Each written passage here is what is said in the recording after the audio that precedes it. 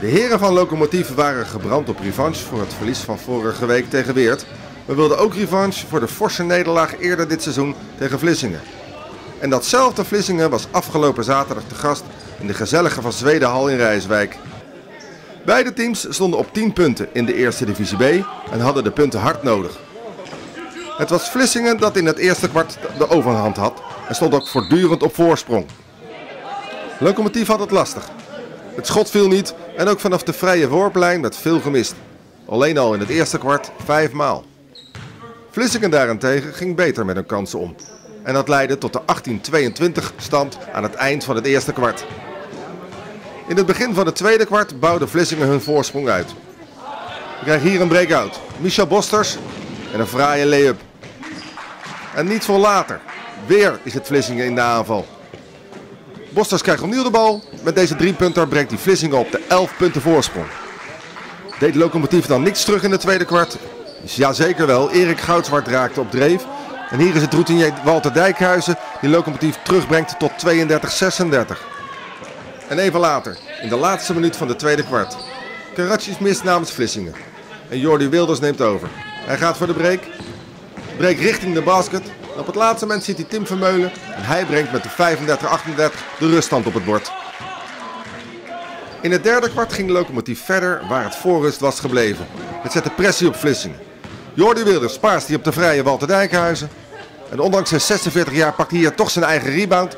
En hij scoort en brengt locomotief sinds lange tijd weer op gelijke hoogte. 43 gelijk. Even later deze belangrijke aanval van Vlissingen. In eerste instantie gemist. En hier is Stefan Schier. Die brengt 50-56 op het bord. 6 punten verschil. En even later is het zelfs 9 punten verschil als we deze aanval krijgen. Glenn Schijf dribbelt richting de basket en plant min of meer per ongeluk zijn elleboog in het gezicht van Dennis de Pauw. Die pikt dat niet en geeft hem een zet. En dat ziet de scheidsrechter wel. En dat betekent een disqualificerende fout voor de Pauw en vrije worpen van locomotief. Het is Glenn Schijf die tweemaal mag aanleggen vanaf de vrije worplijn.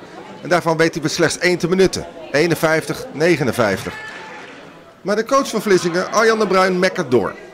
Hij wil ook een disqualificerende fout voor Schijf. Dat werd niet gewaardeerd in Van Zwedenhal. Aan het eind van de derde kwart liep Vlissingen toch weer uit. Hier krijgt Sombra de bal, 17 jaar slechts. Die gaat over de knie bij Erik Goudzwaard. De laatste fase van het derde kwart waren weer volledig voor Vlissingen. Hier zet Sombra met zijn vrije worpen Vlissingen op een 53-64 voorsprong na het derde kwart. In het vierde en laatste kwart speelde Lokomotief eigenlijk een verloren wedstrijd. Vlissingen liep zelfs uit naar een 13 punten voorsprong.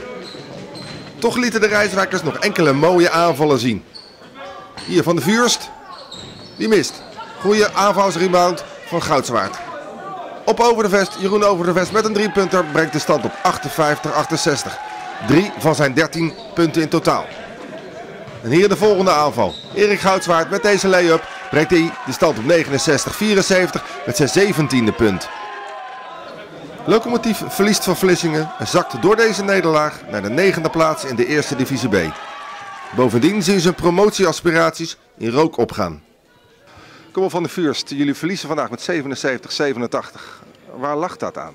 Nou, een beetje geluk. En uh, ik denk dat de tegenstander ook geen slechte tegenstander is. Dus uh, ja, fysiek heeft het er bij ons in ieder geval niet aan gelegen. Nee. Nou, ze waren net iets sterker. Iets meer geluk met de finishes, dus de afmaken van de bal. Dus, uh, ik denk als we dat wat beter hadden gedaan, dat we een betere kans hadden gehad. Waar hebben jullie op, op verloren? We hebben verloren op uh, slordigheid. Zij waren net iets scherper dan ons. En ze benutten al hun vrije worpen. Dan komen jullie in de eerste twee kwarten steeds staan jullie achter derde kwart komen jullie goed terug tot 43, gelijk zelfs. Ja. En vervolgens verliezen jullie een beetje jullie hoofd. Jullie, zij lopen uit naar 11 punten verschil. Nee, ik denk niet zozeer het hoofd verliezen, als wel, ja, je moet, die ballen moeten ook vallen. En als je goede kansen krijgt om te schieten en ze vallen niet, ja, dan wordt het lastig. Je hebt een hele opvallende selectie. Een paar hele jonge jongens van 16 jaar, 18 jaar. En ook een paar mannen van boven de 40. Dat lijkt mij niet ideaal. Uh, toch wel. Uh, de oudere jongens die brengen wat uh, ervaring, wat rust. en ik denk dat de jongere jongens alleen maar kunnen volgen en daar wat van kunnen leren. Wat gebeurde er nou in het derde kwart? Uh, derde kwart uh, werd uh, rommelig. Fysiek probeerden we ze aan te pakken. En ja, dat ging niet helemaal goed. Dat werd na ons nadeel. We krijgen weinig mee. Er werd veel gebabbeld. Ja, we waren niet meer basketbal bezig. Kortom, dat is denk ik de korte conclusie in de laatste twee kwart. Wat heb jij in de, in de, tussen de derde en vierde kwart tegen je mannen gezegd? dat we een stuk scherper moeten zijn. dat we meer pressie op de bal moeten zitten. zetten. En dat de rest in de paaslijnen gaat staan om een bal te onderscheppen. Er zat meer in. Absoluut. Uh, moet heel eerlijk zijn. Ja, ballen, maar ballen moet je er ook in gooien. Uh, er is hard gewerkt en dat is uh, ja, soms compenserend met, met fysiek spel. Maar ja, uiteindelijk moeten die ballen wel gaan vallen. En als je niet vallen, dan kun je geen wedstrijd winnen.